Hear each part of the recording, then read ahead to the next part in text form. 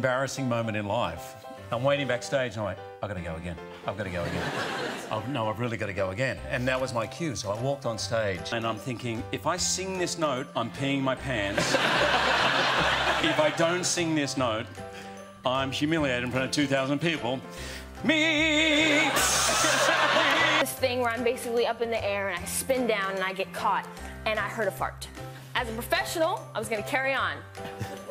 It was not me. And what happened was the person who was a grown man blamed it on me. There's a really funny story with that. This is the meat trifle. He eats the whole thing, but there's too much on his plate. He can't finish it, and he starts laughing. He kind of spits it back on his plate, sitting right next to him, and I didn't, I'm looking the other way. I Oh, didn't no. see. I take his plate, I go, give it to me, and I scrape some on my plate. I go, here, let's go again. And we go again, and now I'm eating it. and we finish the take. No one says anything. So then, last, the most recent travel, I walked in. So the lady goes, whose bag is this? And it's, of course, my purse.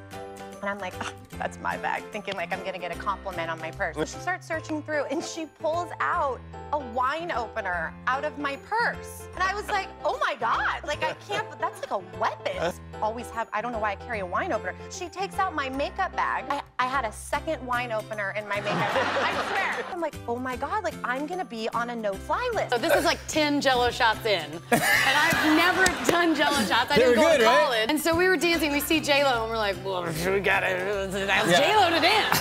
we'll do a spin, Yeah. and then we'll go dance with us. Like together. I do it, Mm-hmm. and then I go like this, and then I look, and he's gone. And it's just me looking at J-Lo and going, dance with me. You made me look like a freak in front of J-Lo. Do you know what that feels like? Oh, stop it.